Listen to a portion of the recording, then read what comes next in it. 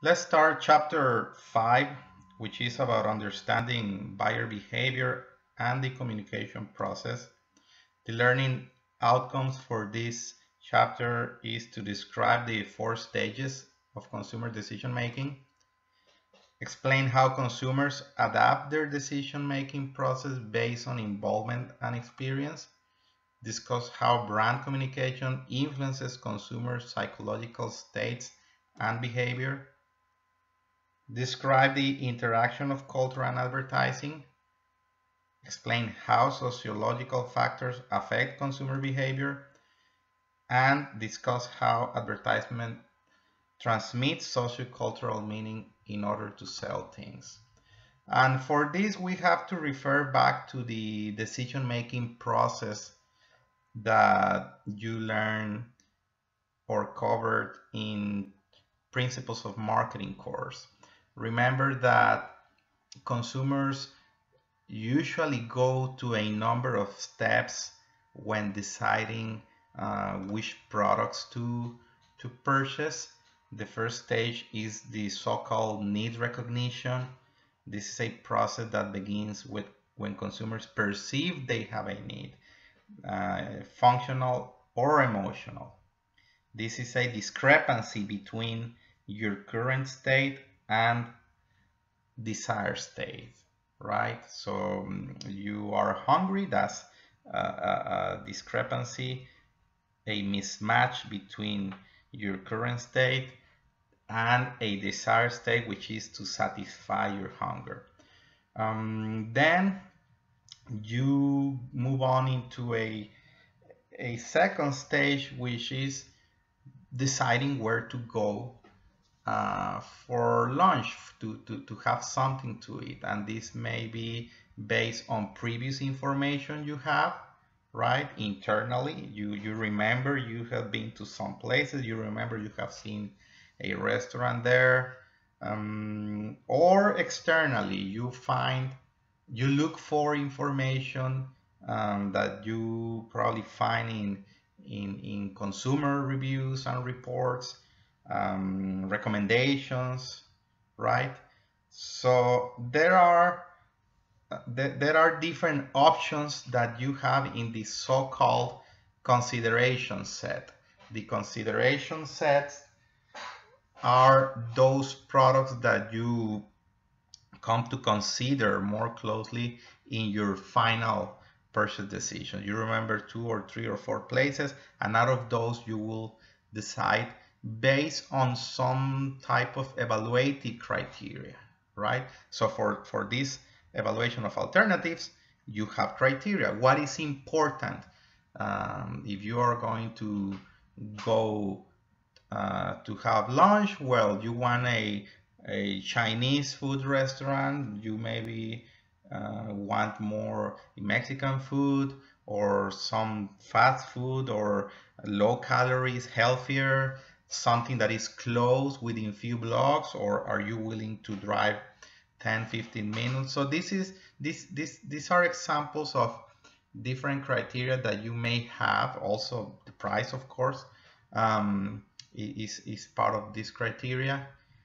And according to those different um, uh, criteria points you decide and purchase something that you expect will satisfy your needs, your expectations. And this is not where the process ends. There is a fourth stage, which is the, the post-purchase evaluation, the post-purchase use stage in which you develop some positive or negative evaluations. A, a positive satisfaction would be, of course, that when the product delivers on those benefits that you expected or maybe not. Uh, and this is in psychology field called the cognitive dissonance. You realize that uh, what you purchase is not uh, necessarily what you expected right? Uh, maybe you learn after your purchase that there are other other products that could have fulfilled better what you wanted, but you are not going to return what you have already because you have spent on that. So these four stages um, are the standard consumer decision-making process. However, um, not all purchases uh, individually go through all these stages. Sometimes you skip some of these stages because it depends on other factors. You have um, some purchases for which you have more involvement, some other purchases for which you have more experience or less experience. So there is this model for different type of purchases or decision making according to the level of involvement and according to the experience. These four categories are the extended problem solving with high involvement, low experience. Second, the limited problem solving with low involvement, low experience. Third, the habit or variety seeking with low involvement, high experience. And brand loyalty with high involvement, high experience. This exhibit illustrates these four categories better. On the upper left hand side, you have the type of purchase in which you go through all of the stages that we saw a couple of slides earlier, right? From need recognition to information search and alternative evaluation, um, purchase per purchase evaluation. And this is because these are situations in which, for instance, you are going to buy a new car and it's the first time you buy a new car, then you have low experience, right? As we see here, low experience in, in purchasing new cars and you have high level of involvement. Why? Because it is an expensive product. You don't purchase a car every other week.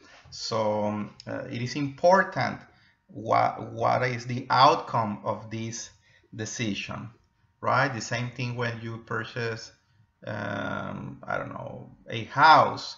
Of course, this is the most uh, expensive thing you you probably buy in your life. So the the risk and and, and the outcome uh, is of high importance. So you look for information, right? If you're gonna buy a, a car, well, you have evaluative criteria that you carefully um, take into account what type of car, the, the, the fuel efficiency, uh, etc. The price, of course, uh, whether you want a Japanese car or an, Ameri an American car, a pickup truck or SUV. So these are the type of decision-making process for which you cognitively engage into trying to solve a problem in the optimum, in the most optimum way the most optimal way. Moving to the right hand side on, on, on, on this category of decision making, we have the so-called limited problem solving, right? There is low level of, of involvement, low level of experience, right? You have in your textbook this example of um, someone who is is is looking to to buy diapers, right? And well, you don't have experience on that. It is not a big purchase, something that you spend much on it, so you are more willing to try um, maybe a coupon, maybe find information from uh, advertisement as credible, and you are willing to try because th those are the purchases for which um, people don't see high level of risk. Yeah, it may be the first time I buy a product, right? Because I have no experience, but the outcomes are not gonna be that uh, serious if I don't make the right choice. One more time, for this type of purchases, um, consumers are more prone to uh, to be influenced by sales promotions, for example, right? Coupons, etc. That that that price discount may be the the determinant factor for deciding something. Next type of uh, decision making process under this framework is that of low level of involvement on the right hand side here in the lower part low level of in involvement but high level of experience something that you have purchased in the past over and over right? Is not a an expensive product usually right? Like toothpaste a toothbrush or detergent things like this um, that you use over and over and you always buy the same product just because that's that's what you've done in the past. That may be what your family detergent um, uh, was when you were growing up so you still buy it. So you have a lot of experience. You have purchased this over and over. Um, but it's not an expensive or uh, product or something for which you have uh, a serious um, outcome that that will change things in your life right? Now this can be a category in which you either develop a habit for purchasing certain products and brands but you also have on the other hand the customers who who demonstrate a variety seeking right? They don't just stay with the habit of purchasing the same product over and over, but they do uh, instead try different brands just because they don't want to get bored, right? So they try different flavors, they try different uh, presentations.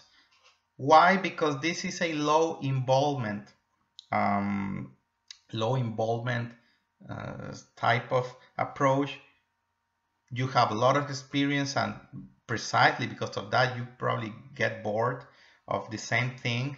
Um, so for this category for low involvement and high level of experience you, you you may have either a habit developed or variety seeking uh, behavior right?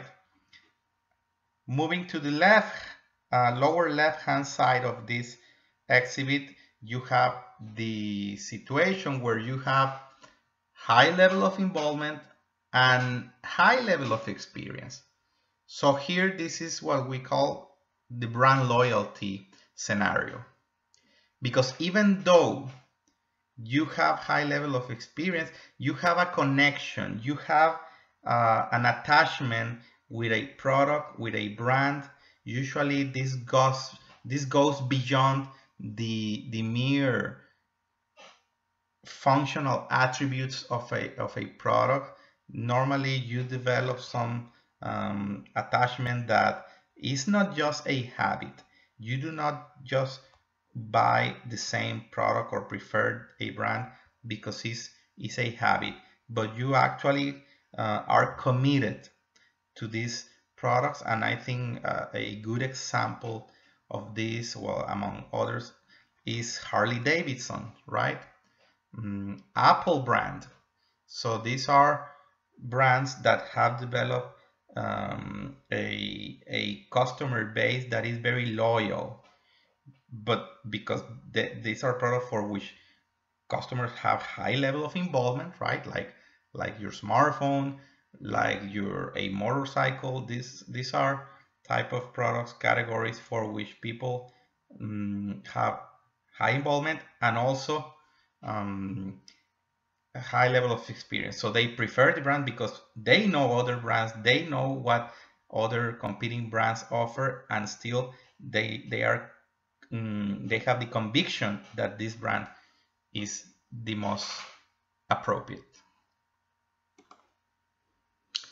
Now moving moving on to connect this topic with the with the core of this course is the communication process how when marketers do promotion advertising uh, what does this have to do with this um, consumer decision making process? Well this This is important because precisely you want to understand what are the psychological processes that allow marketers and advertisers to, to persuade consumers, right?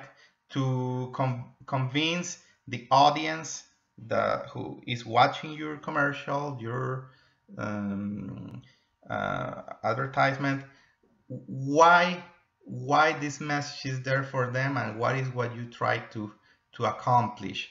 And for this purpose, we have to look at the basis of advertising in terms of the effect you want to achieve. People have beliefs. People have beliefs about things, right? And uh, this is what shapes their attitudes. Why are attitudes important? Well, if we refer back to the decision-making process stages, it is in the evaluation of alternatives, in the search of information, where people draw and, and, and, and, and recover this uh, uh, or base their decision according to the attitudes which are driven by their beliefs. Right? People have salient beliefs about things that matter to them regarding a product, and those are the determinants of attitudes towards brands. So when you want to convince a customer that a car offers safety, what you want them is to believe that safety is an important attribute or characteristics of your automobile brand, which is the case of Volvo, right, as we see on this slide. Therefore, it is important to first understand what are the beliefs that people have about our brand, about our products, because that determines the attitudes they have. And therefore, we have also to look at the other options that consumers have uh, in terms of competing products, competing brands. If we, if we refer back to the decision-making process model, in the evaluation of alternative stage, consumers will wait, they will uh, compare different attributes of um, products according to the evaluative criteria. So you as a marketer need to be aware of what are those attributes that are possessed by competing brands, by competing products, so that you can mm, get an edge and leverage on those benefits, on those advantages that your product possesses. One of the most uh, well-known models for analyzing these um, differences between products and brands is the multi-attribute attitude models.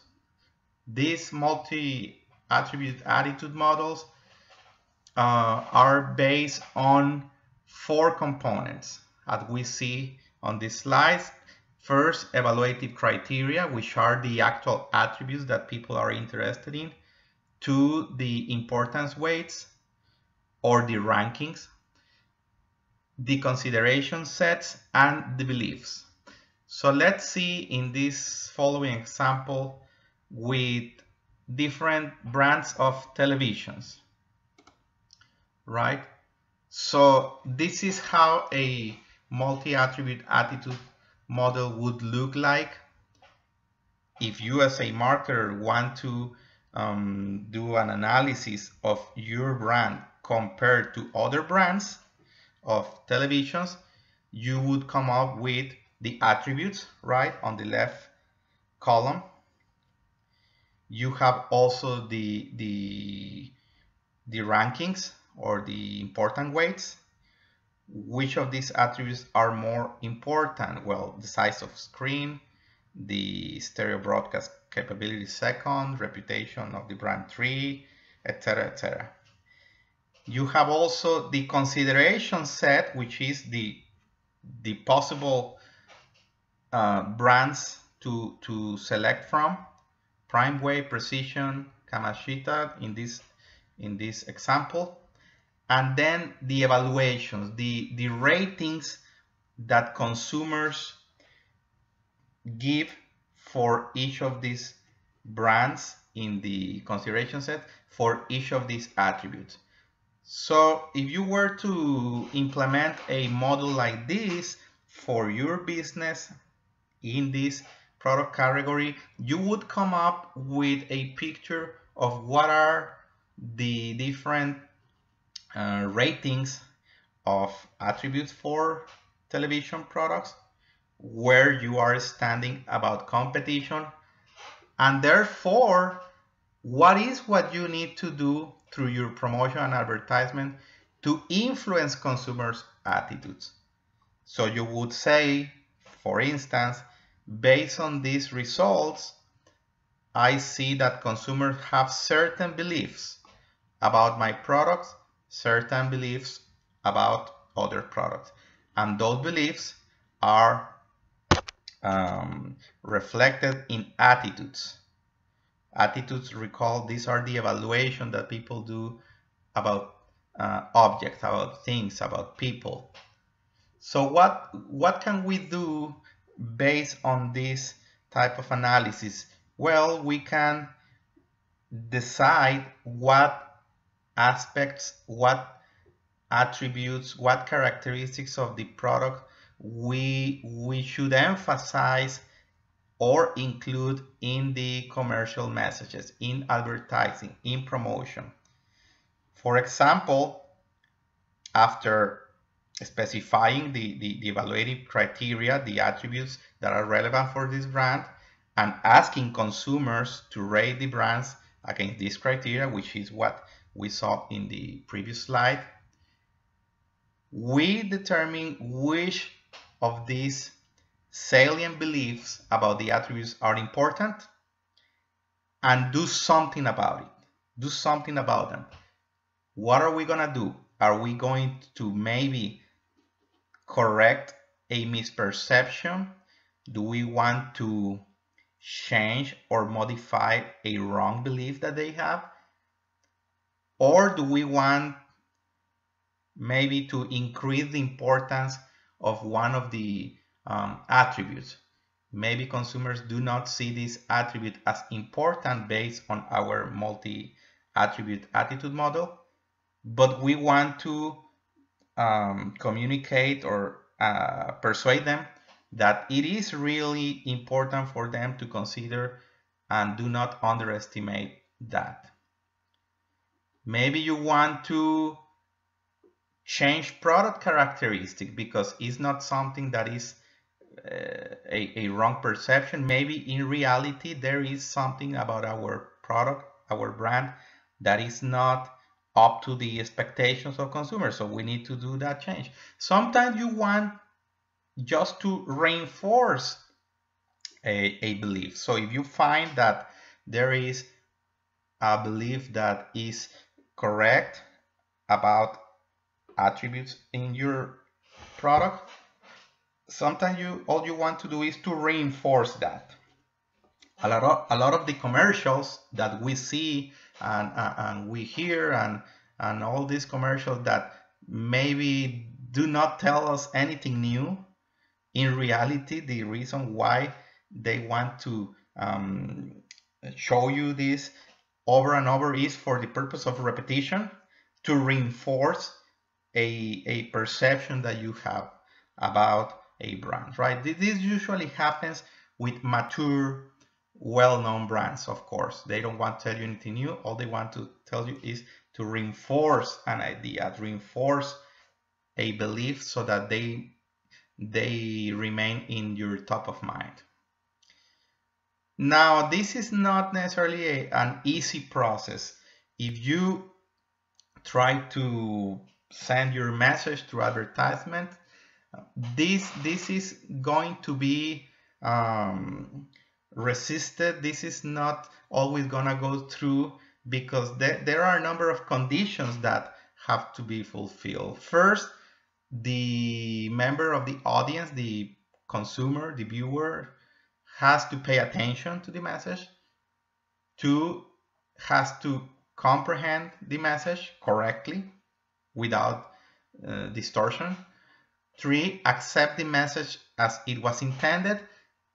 And four, last but not least, retain the message. Sometimes you pay attention to the message, sometimes you will understand it correctly and accept it, but, but you don't remember it later.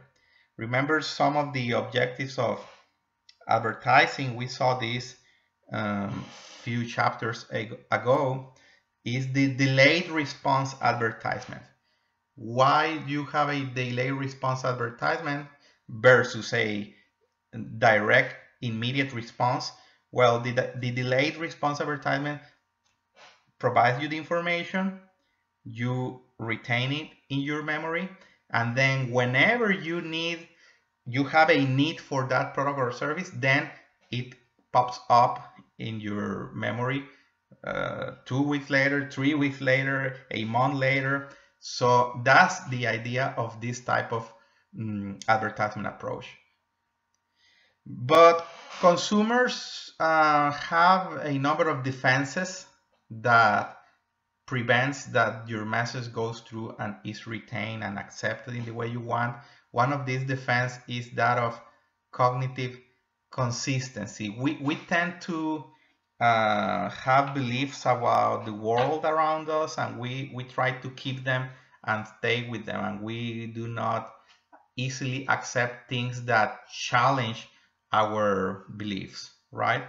Mm, selective attention, that's another uh, defense, another type of resistance. People simply do not pay attention to all the advertisements that they are exposed to. If you think on, on your daily life every day, you are exposed to a number of advertisements, so many that you don't even um, you are not even conscious about how many times you you see a billboard or you are listening um, on the radio uh, a commercial or in TV etc so that is the so-called advertising clutter right? There is so much information we are bombarded with not just with school and and in your relationships and in your job, but also commercial messages that you don't pay attention to, to all of them, right? Um, so if that is the case, what communication approach should marketer use? What is the best way to reach the audience considering the communication process, the decision-making stages, the level of involvement that we talk and experience we talk, there are two routes in which uh, in which you can you can frame this the central route and the peripheral route to reach your audience to get your message through. Um, if you're reading your textbook about this called so-called elaboration likelihood model you will find that it says basically the central route is utilized when you have customers who have a high level of involvement for the product category, for the brand that they are considering versus the peripheral route.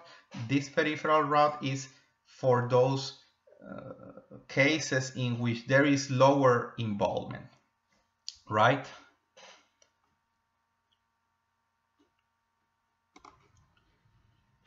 So in the central route, you find that customers elaborate, scrutinize the argument, the information provided in, in, in your promotion, in your advertisement, because these are products or decisions that have a high level of involvement and the outcomes, as we said before, are serious, are relevant. So if you buy a, a home, if you buy a, a car, those cognitive responses which are the thoughts that occur at the moment in which the beliefs are being challenged, right? What you believe, your attitudes are being challenged but the commercial message. Those are uh, evaluated and you may end up either persuading, co convincing um, the consumer or not, right? But this is a highly cognitive, elaborated uh, route that, if successful, changes the attitudes in the way that you want. Mm, sometimes that is not the case.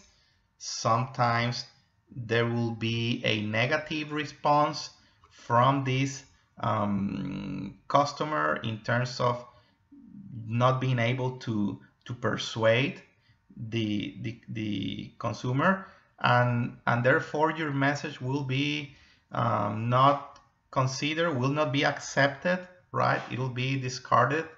Um, but but this is the the route through which messages go when you have high involvement products. On the other hand the peripheral route is more utilized for messages that have to do with low involvement products. This is called peripheral because customers don't get into much into a cognitive elaboration or um, uh, a process to scrutinize the arguments, right? Sometimes when there are not many difference between products in the consideration set, the way that marketers try to get the attention is by um, using uh, attractive uh, spokesperson, um, celebrities, uh, having humorous and comic uh, messages, right? Or catchy music, something that is uh, noisy, let's say. I would say, for example, these commercials from Super Bowl uh, um, time that you have celebrities telling you about a new flavor, telling you about a new um, type of soft drink or or chips or candies, right? These are trying to get your attention in a peripheral manner. Eventually, changing your attitude. But the, the problem with this um, peripheral route is that the attitudes do not necessarily change um, for a long time. I mean, these, these are not very enduring attitude changes, right? now, what we've seen so far uh, comes from the field of psychology and research conducted in experimental laboratory settings. And of course that that is shown to to um, to be there as effects that communication have on on consumers. But but there is not only an information processing uh, stimulus response type of explanation to to advertising effects. Um, yes, consumers will be uh, exposed to stimuli, but but th th that's not the only thing that explains the effect of advertising. There there is a fluid, uh, subjective uh, context, and that is culture which is in, in, in that context that advertisements are interpreted, right? So we are uh, uh, dealing with cultural products and therefore um, advertisement have to reflect and connect with the values of the audience um, they have to connect and be consistent with the shared patterns of behaviors or rituals right, that people have, which are uh, in turn dependent on, on social class, the stratification. So this takes us back, back to the concept of segmentation that we, we talked um, in last chapter, chapter 3 right? Because different group of consumers that we go after share different values. They um, engage in different rituals based on their stratification, and therefore the commercials, the advertisement messages will have different meanings depending on the segment of consumers that we go after those brands that are able to associate their the brand with um, with culture, they are able to to create meaning, which translates into cultural capital, and this make these commercials um, uh, more effective, right? Because these are these these are um, appropriated by consumers and this is more meaningful to consumers. Values are the foundation of our attitudes at the end, right? Our cultural values determine and shape our attitudes that we have toward the world around us, including products, including services, and this is what ultimately will shape or determine our consumer behavior. So advertisements must be connected to these cultural values, right? They should be consistent with them because at the end we can probably change the attitudes of consumers in a more rapid manner, but culture does not change that easily. Even though we may try as marketers to change culture, yeah, there is an influence of advertisement on culture, but this this effect is very slow and it takes um, place over over the years in a cumulative manner. So this is like a two-directional, um, bidirectional um, relationship here between culture and advertising, but that's the matter. That's what we are dealing with when developing advertising and promotional campaigns. We are dealing not just with information processing, but we are dealing also with culture. And culture, as you know, well, is um, manifested in, in, in different ways, right? In food, in the possessions that we give value to, in relationships, in religion, in family, in ethnicity, in music, in art, etc. Right? So it, it is it is very important not to miss this point and keep in consideration that whenever we are trying to persuade consumers through advertising messages, we, we don't just deal with functional attributes, with emotional um, uh, effect, but also with, with culture, with identity, which is, of course, uh, related to symbolism of, of, of products.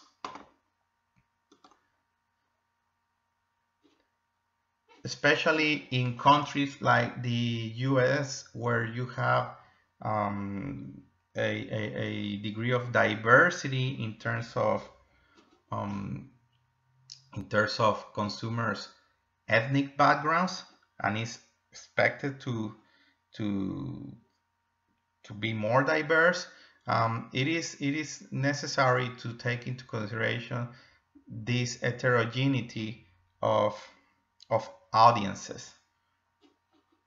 I recommend you to take 15 minutes to watch this segment, um, not right now, but these these slides are available in Blackboard and you can go to this link here.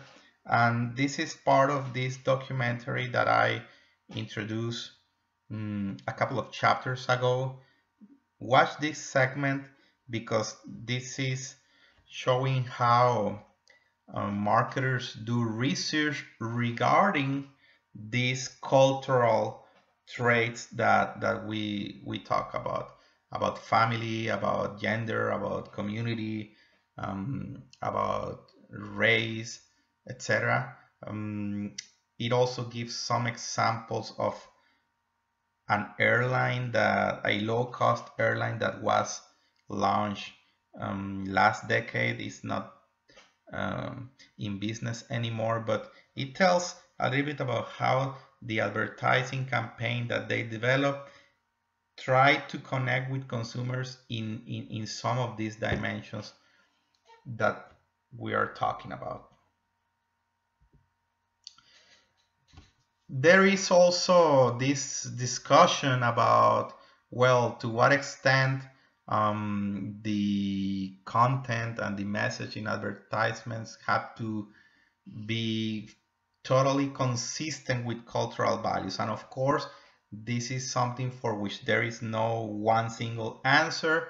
Some um, brands that have challenge and that have um, found um, contradiction with some cultural values in some segments have backslash because there are things that are not accepted by all consumers in the same way. And one more time, this reflects this diversity. This reflects this difference in opinions. So it is a sensitive uh, matter that um, uh, marketers need to take into account.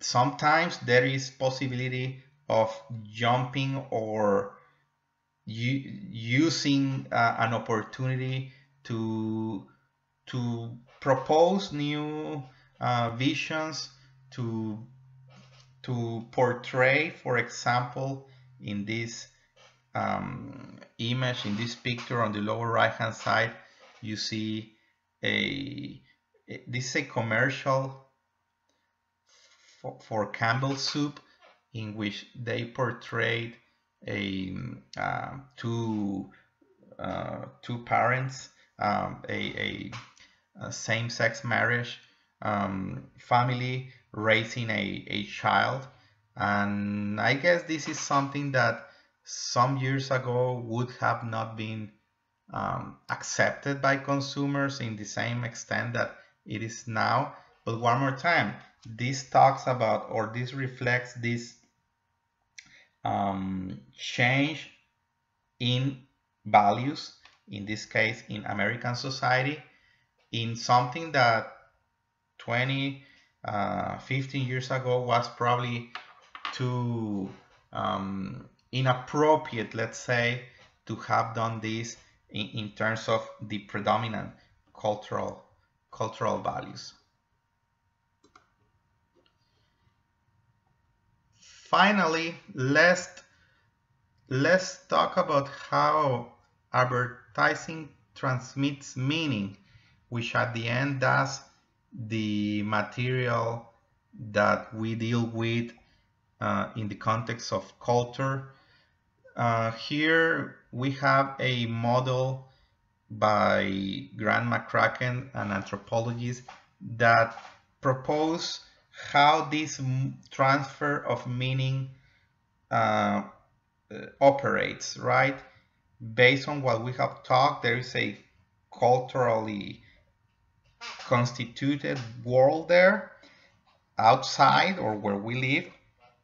And what marketers try to do is to attach meaning to brands, to products by placing them in these worlds represented in advertisement, right? For example, in a slice of life uh, situation. Of course, consumers, in order to understand the advertisement in order to make sense of it. Need to know something about the culture. If you suddenly travel to japan and you watch an advertising there you you have never visited japan before you are not related to japanese culture probably the the advertisements there you will not understand them in the way they are intended because you you lack that cultural code. So advertising in order for it to work it, it, it has to be um, in the context of the culture of the audience. Now if the uh, marketer places the product the brand into that cultural context then they are transmitting the meaning by putting together advertising with the situation, with the social world represented in the advertisement, so that when consumers purchase the product or the brand, they they um, consider or they understand that the meaning is transferred to them, right? That at the end the purpose of advertising. Consumers preferring a product because it is something that uh, is adopted based on this cultural mechanism. This example um, of Harley Davidson, I think, is one of the most um, useful to to understand this concept there is there are a number of associations that we we make about Harley Davidson and about what it represents, about what type of um, people buy uh, motorcycles, Harley Davidson, and therefore um, the, the, it's been successful to the extent that that people feel highly identify with the brand, people within that segment, because it represents something again about their identity, about their self-concept. So advertisement transmit meaning by placing together the objects of interest, right, like a product, um, with certain symbols, with certain signs, right, which have a meaning. A cowboy, like in the case of Marlboro Man, um, it represents uh, certain values like rock American, right? Like rough um, American, and and the same thing you can um, think about other brands that they try to convey certain meanings, right? Some meanings will be more about liberty and freedom and independence, um, etc. So not necessarily over the same meanings, but um, it depends, of course, on the product, the category, and how you want to position against um, competitors, and of course also the the segment of consumers you go after. So let's finish here this chapter um, make sure to read um, this chapter 5 on your own for the quizzes and exams.